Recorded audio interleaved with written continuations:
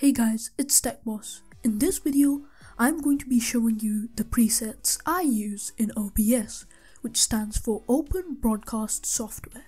OBS is a really popular software which is used by many YouTubers and Twitch streamers. I personally also use the software and it's great because it consists of many features and the best thing about it is that it's completely free.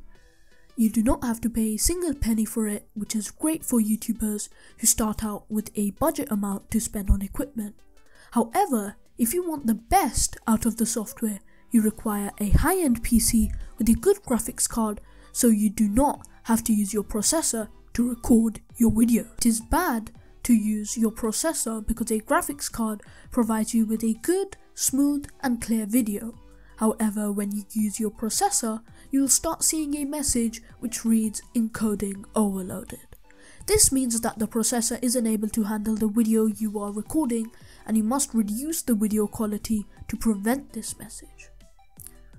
And to prevent this message, I'm going to be sharing my presets for OBS because I have a bad computer as well. I'm using a laptop which has 6GB RAM, an Intel Core i5 processor, and Intel HD 3000 graphics. Now, as you can see, my laptop is pretty bad. My laptop's display dimensions are 1366 by 768. This is the average display most people who own laptops get. In this video, I'm going to be showing you the best presets you can use if you own a low-end PC like me. I'm going to be showing you how to optimize the settings that would not reduce your video quality and frame rate. This means you can continue recording in 60 FPS without lag. Now without further ado, let's begin. Hey guys, it's TechBoss and this is OBS when you open up OBS and you're going to see a window something like this. Go ahead and click on settings if you do want to change it to the same theme as I am using. Go ahead and click the theme to dark. Your one will be on default which is a white theme but I like to keep it on dark which again saves your eye strain.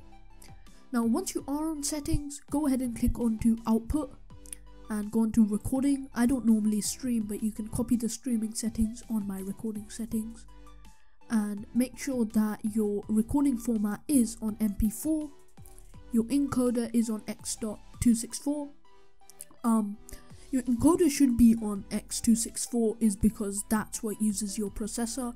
However, if in the options you can see um, NVIDIA.NVENC or an AMD processor, go ahead and choose that because you should always choose your graphics card over your processor when recording as your encoder.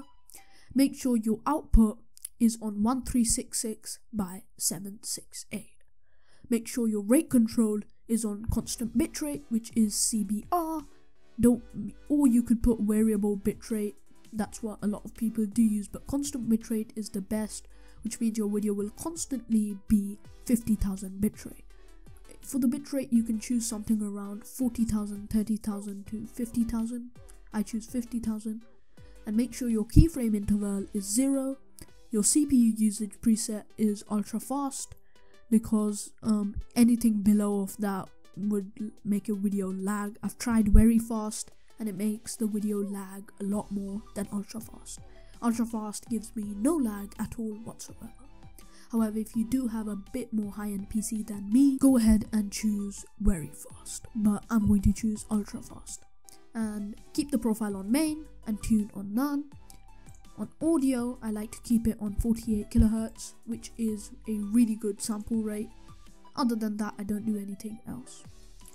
Going on to video, I keep it on 1366 by 768 and my output resolution to 1366 by 768 and then my downscale filter is on Lanczos sharpen scaling 32 samples and my common FP common FPS values remain on 60 FPS.